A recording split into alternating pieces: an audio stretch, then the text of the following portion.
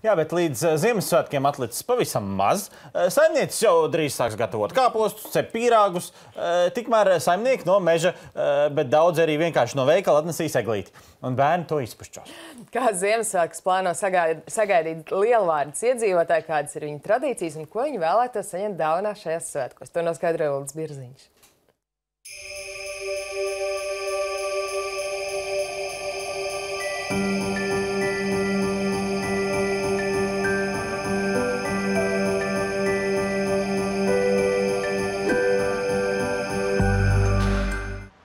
Lielvārds iedzīvotājs stāsta, Ziemassvētki ir laiks, kad satiekas visa ģimene, tāpēc šie svētki ir jāpavada ģimenes lokā.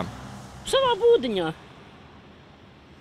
Bērni atbrauks, mazais sunīts, viss. Noteikti mājās pie saviem mīļajiem. Skatīšos televizoru, interesantākās pārraides. Tagad filmas interesantas rāda uz Ziemassvētkiem. Protams, ka plānojam kopā ar, ar, ar visu, visu ģimeni, jo mums ir arī trīs bērni, tātad septiņi mazbērni. un Mums būs ļoti skaists, skaists ģimenes eh, galds ar pierāgiem, un tie būs lauki ar, eh, gan ar krāšņu egli eh, pie mājas, un ar siltu siltumu lauku mājās.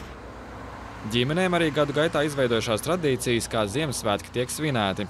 Parasti kā jau vienmēr eglīti, un, un, un viss apmainās ar dāvanām, un tad nu, pāēd kārtīgas latviešu pusdienas, un vairākas ēdienas, un, un, un, un tad jau ir jau pienācis vakars, izsiet gulēt, un tādā garā. Maināmies ar dāvanām, kopā jauki pavadām laiku. Ai, tagad jau vairs nav saulīt mīļā. Ko tad nu viena pati palikusi kādas tur tradīcijas? Atbrauks bērni, tiem jau nevajag tradīcijas vairāk. Tiem jau telefonā viss un internetā. Visus, visus ēdienus, deviņus ēdienus. Tas ir obligāti. Ja? Tāda tradīcija. Visbūtiskākais, lai visi bērni ir iemācījušies jaunus dzējoļus. Nevis pīrāgam, nabagam, abi gali apdeguši, bet tā pa īsto sirsnīgi. Un tad arī um, vecākiem visiem ir pienākums dziedāt dziesmas vai dejot uh, dejas, tā, tā lai uh, tiek sagaidīts Ziemassvētku vecīts, un arī viņš ir apmierināts par mūsu uh, gada darbiņiem. Un tad katram ir jāizstāsta arī, ko viņš šajā gadā ir veicis, un, protams, uh, ko vēlas nākamajā.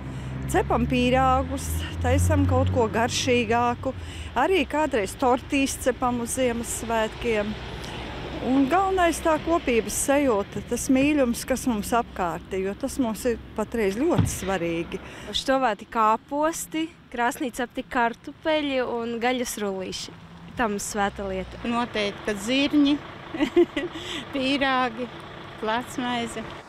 Runājot par dāvanām, katram ir kāda īpaša vēlme, ko viņš šajos svētkos vēlētos saņemt. Galvenais, lai mums, lai man ir veselība, lai visi mani mīļie ir veseli, un visi man tepat blakus, un apkārt labi cilvēki. Es pieļauju domu, ka jauna mašīna nebūs slikti. Kādu, nu, nevar pateikt īsti. Es pats sev apdāvinu. Nezinu, man jau patīk smaržas, kosmētika un tādas lietas. Es gribētu lidot uz Tenerife pēc Ziemassvētkos. Nu, tā laikam būs, paskatīsim, būs tāda iespējams vai nē.